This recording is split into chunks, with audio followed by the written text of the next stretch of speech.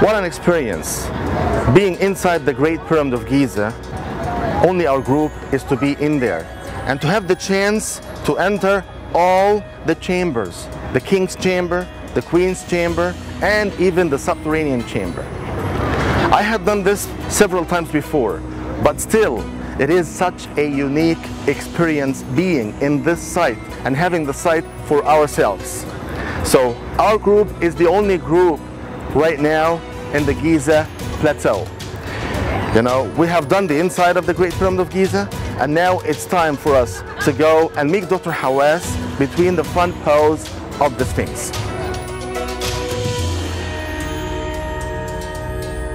Every king is Horus on earth. When he died, he became the sun god.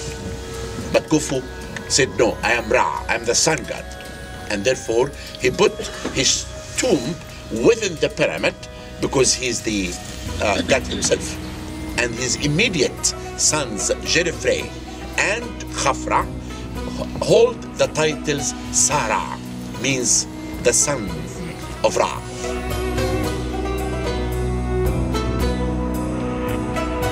First days have been amazing. Everything's organized. We're having a wonderful time. It's a trip of a lifetime.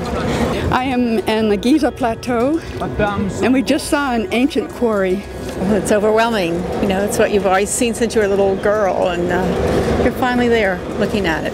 That was really prestigious. I feel like I am a queen's daughter. it's more than I imagined. You know, it's almost hard to put into words. We're sitting there just casually among the paws of the Sphinx. It was exciting.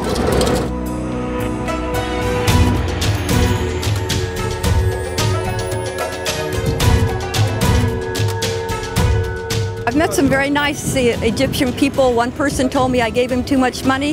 The other person gave me this for free. okay, but uh, it's amazing. I waited my whole life to come, and I read about it as a little girl and dreamed about it. And this is the first time I've gotten to come, and I'm in my 70s, and it's worth every minute. It's worth every minute. We feel very safe. We feel very safe. The people in Egypt are very friendly, very welcoming. They're very happy to have us here. Everyone should visit Egypt. I've had no qualms whatsoever with traveling, yeah, with the safety. I don't see any problems so far.